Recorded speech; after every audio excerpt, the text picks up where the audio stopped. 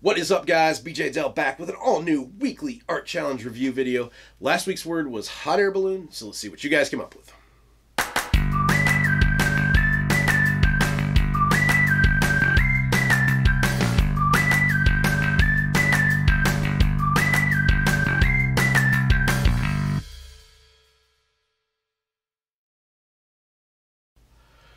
All right, guys, so let's jump into the video. This week's word was hot air balloon, so let's see what you guys did. First one up is Debbie, and I really like this. Super cute, a very good kind of storytelling piece.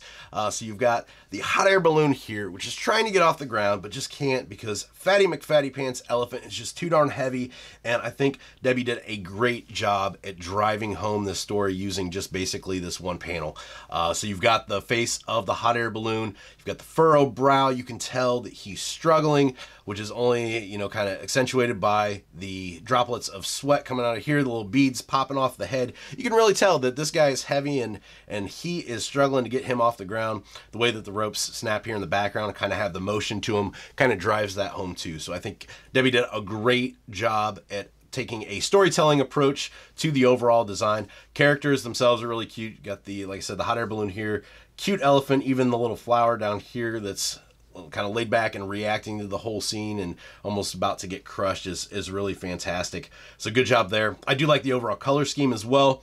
Uh, the fact that it uses brown for the lines rather than going with a heavy black, I think gives a, a nice natural kind of muted feel to the overall design. And the color choices throughout really good too.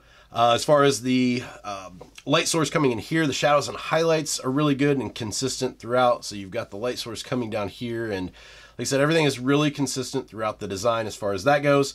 Uh, line weight, it looks like you did some line weights too, kind of tying into the light source. You got the front of the basket here with the thinner line than the back, so good job there.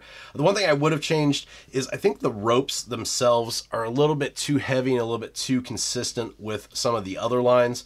They kind of blend in and don't stand out as much and it just kind of muddies up the design a little bit. So I would have done one of two things, either made these ropes a lot more thin or made these super thick and then made the rest of everything thinner, which we'll talk about that here in a second with the next design. Uh, but that's the one thing that, that kind of stood out to me that I would have, you know, just changed those. It looks to be a little bit too much throughout. Um, and then the one last thing that I would do, the, the background here choice, it's really good. I like the blue and the texture that you've got. Uh, the only thing is it reminds me of sky and the problem you run into when you use, you know, a sky background and then decide to add in a uh, actual ground layer here is that it just looks too much like sky and the, the the ground looks off. So what I would have probably done here is just go in and I wouldn't actually go in and color color everything. Just kind of, you know, throw in some hints of color, some hints of green, and I think that would have kind of brought that home a little bit more. It would have been a little bit easier to read. And like I said, just kind of fade it out. I wouldn't have colored in exactly perfectly everything, but just this touch of color kind of goes a long way to break that up. So just a little bit like that, I think that would have kind of popped that out from that blue background. But absolutely fantastic job, Debbie. So thanks for sharing that this week. Uh, next up is Cameron.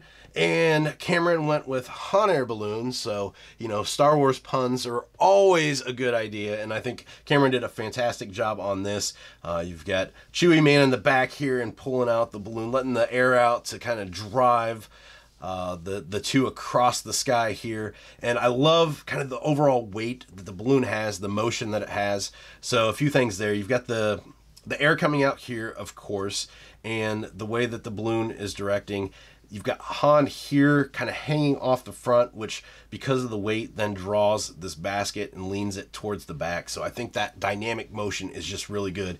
Uh, speaking of the motion, the, the pose of Han is done super, super well. Like how he's, you know, kind of hanging off this thing instead of just standing, you know, rigidly. This has a really good dynamic action pose to it. And same thing with Chewie here, letting out the air is just really great.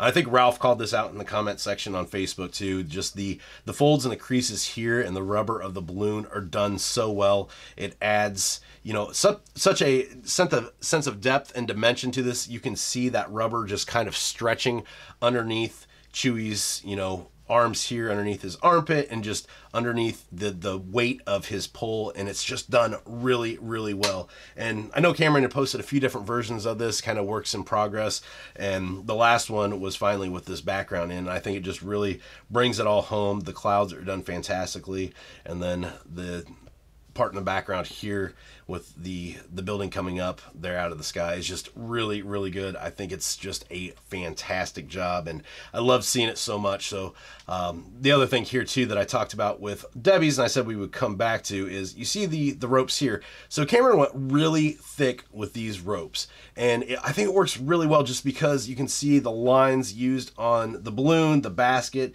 even the characters themselves are really thin. So the the ropes stand out kind of as a separate design element element. As you can see, then comparing it with this one, the ropes were kind of close to everything else. So they didn't really stand out. They just kind of all blended together. So on Debbie's, I said either, you know, make these thinner or make these the same size or even a little bit thicker and everything else a little bit thinner. And you can see kind of what I was talking about there and why it works with this and it just it just adds a lot to the design so thanks for submitting that this week cameron uh, next up is dominic and dominic did a monkey hot air balloon and I think this is great.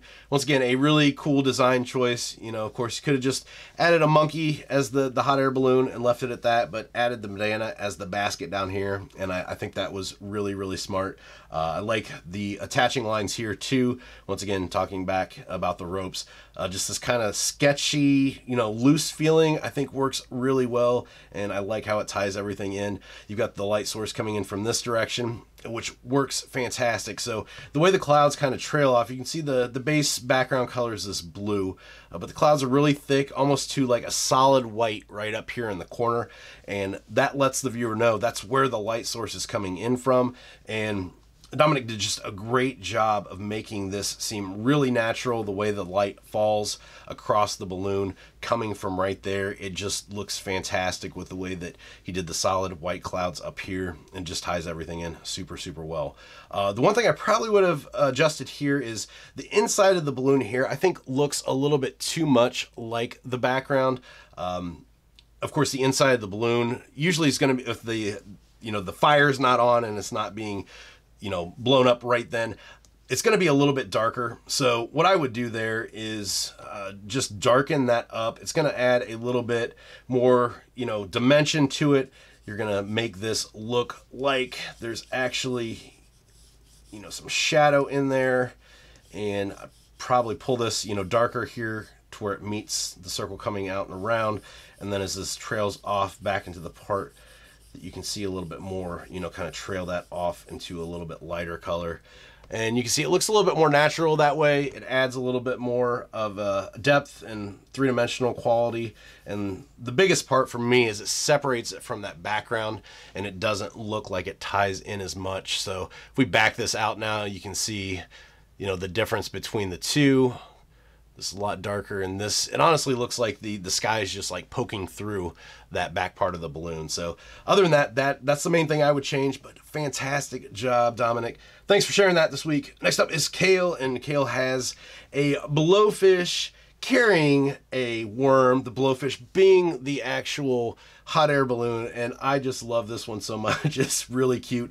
Uh, as far as character design, fantastic job on the characters. They've got their own personalities and look really cute together. I do like the line weights too. You want super thick around the characters, especially the worm here. You can see the differences in the line weights. It's really thick around this outside part, and then you know this inner eye comes in, and these lines are a lot thinner. But you can see how went ahead and pulled this down to where it just doesn't break off. It looks natural coming around here. Sometimes when you go thick around the outside, it just almost looks like that sticker feel that you just trace this, made it bigger, and then when it gets thinner on the inside, the lines don't match up. And I think you did a great job of adjusting that. So fantastic job there. Uh, as far as shadows and highlights too, those all look really good. I would have probably added in a few more shadows here. So the one thing, the way that this pulls in, like we talked about uh, with the Han air balloon, the way Chewie had that rope or had the uh, the balloon kind of tucked in and pulled. Um, this has a lot of weight here, and I think Kale did a great job of pulling this rope in, and you see how it kind of creases into the skin here, so it adds a lot of weight. Since the rope does have weight and is heavier and sticks out, I would probably go ahead and put in a another shadow down the back of the rope. Get the right size here. Just to show that that has some weight to it and it does give off its own shadow just pulling a shadow there down the back of that rope and then also down the back of this rope as well. And then the way that the spines come off here, all the spines here are giving off shadows around the character. But then once you get back to the, the shadowed part, there's no shadows that the spines themselves are giving off. So that's one thing to always keep in mind, even when you've got the, you know, the solid shadow part in here. If these give off shadows, you probably still want to add an extra shadow in here just to kind of continue the pattern that was used. Uh, so with this, just adding an extra shadow layer and then just going back in and, like I said, just throwing the, the extra shadows in there so you've got kind of shadows on top of shadows. Sometimes I'll use two shadow layers, sometimes I'll use three. It honestly just depends on what the design calls for. Uh, but just an overall fantastic job. I love the the background here, the way that you've got the, the squared off plus, you know, just the, the squiggly lines, just a very dynamic shape. It's kind of like um, Amy Springer's last, was it last week? The um, the circus punk with the astronaut kind of reminds me of that just a really dynamic shape to the background which draws the viewer in but just a really great job kale so thanks for submitting that this week. And next up is ken. And ken has the owl hot air balloon. And this one is just really good. I love the color choices. The the blue here ties in well to this brown and i think it really pops against the two. Um, the reason that I, I, pulled this one up this week is because of the way, and I think I can't remember who said it, but somebody had, had chimed in on the comment section in Facebook and had talked about the way here that the eyes, you see, the eyes are basically going to be printed on the fabric that makes up the balloon, and the way that the stitching comes in and the way that the balloon is blown up, you know, these eyes kind of just form around those creases and Ken just did a fantastic job of making this look super realistic.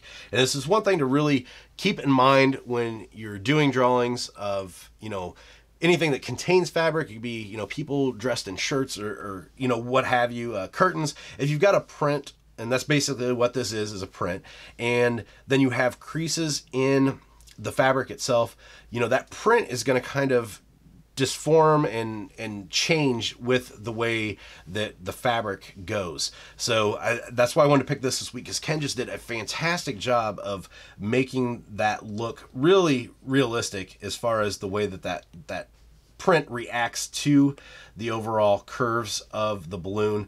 So for example's sake, let's go ahead and do something here. So let's say you've got a person if we get this the right size here. So you got a person that's kind of, let's say they're kind of bending over to pick up something off the ground, okay? And this is kind of their arm, you know, reaching down here. And this person's bending over to reach something. You've got a fold here in the front, the way that the, you know, the shirt comes down. And let's say they've just got a round circle. So from the front, you know, if you had this this shirt and they had a round circle, Actually, let's just do like a donut because I'm wearing my donut shirt today. So, you know, they've got this donut on their shirt. This is going to be a perfectly round circle. But when they bend like this, instead of having this, you know, be round, it's going to look weird. That needs to kind of curve around with the curve of whatever you've got going on. So the way that this crease comes in here, it's going to adjust and kind of morph this around. So you need to make sure that, you know, that follows the, the same creasing pattern as, as what the, the lines do here. And that's one thing a lot of people forget about and it looks really weird, uh, you know, when you start to, to do a design and it doesn't match up something looks off and you might not be able to tell exactly what it is and you know that's one of the things people kind of overlook so good job for uh, Ken kind of noticing that, putting it into action. So that's why I wanted to uh, uh, include his in this video so you kind of touch on that. And last but uh, not least, we've got Rachel's. Rachel did kind of like a hot air balloon skyship, uh, kind of from every like uh, Japanese RPG ever, and I think this is fantastic. I love this so much.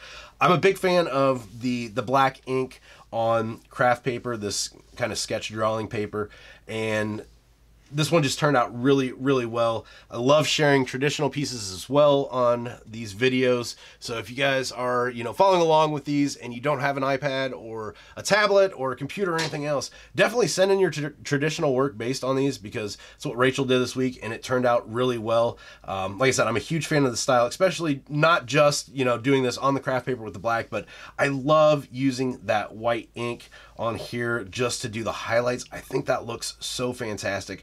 And Rachel did a great job of varying the line weights here. You've got a really thick down here at the bottom where the shadows are. Same thing here on the back. This is where the shadows are. So a really thick line here, thick on the back of these sails. So that looks really, really well done. And I, I kind of like here just the sketchy motion that you've got going on with the top of the balloon and then down the side adds a lot of uh, dynamic motion to it as well and just the the use of those whites everywhere is just really really well done. This is uh you know a style that you can kind of trick doing it digitally. Uh, if you do like this style you know just grabbing a, a background of this craft paper and then sketching on top of it or doing you know black on top you can get a you know a pretty close look to this.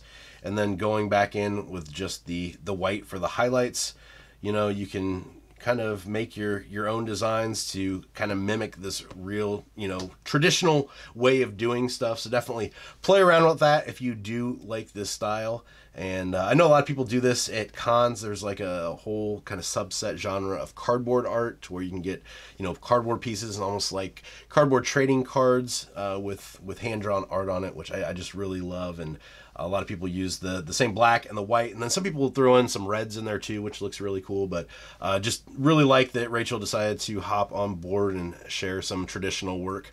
So that is it for Hot Air Balloon. Alright guys, that's it for today's video. As always, thank you for watching. I appreciate it. If you like today's video too, make sure you give it a thumbs up, subscribe to the channel, hit the bell for notifications so you can get alerted when I post new videos. Last week's word was hot air balloon. This week I went over to Patreon, asked the backers on Patreon what they wanted to see for this word. So if you guys haven't supported the channel yet on Patreon, you can hop on over, earn cool rewards, and be able to take part in cool polls like this where you get to vote, you get to submit ideas for the words of the week, and yours might get chosen next. Who knows? Uh, so this week, number one, thanks to everybody that submitted suggestions. This one was chosen by Amy Springer and or submitted by Amy Springer. I chose it, but it was submitted by her. And I know a lot of people are on the print on demand platforms, merch by Amazon, so on and so forth. And with Halloween right around the corner, a lot of people's minds are on autumn and the fall. So this week's word is autumn and that one was submitted by Amy Springer. So thanks, Amy. Uh, so you guys can do a lot of different stuff with this. You could do, you know, like landscapes with the the changing fall colors. You could do Halloween themed. There's so many different options, but Make sure you submit your designs over on Facebook. Keep creating the Learn Draw Share Art community over there. The link is in the description below for that too. That's where you meet cool people, submit your designs, and share all of your work. We want to have you guys over there. As for me, I can be found on Patreon, but also my website, beejaydel.com, as well as on Instagram and Twitter at bjdell. So until next time, keep creating.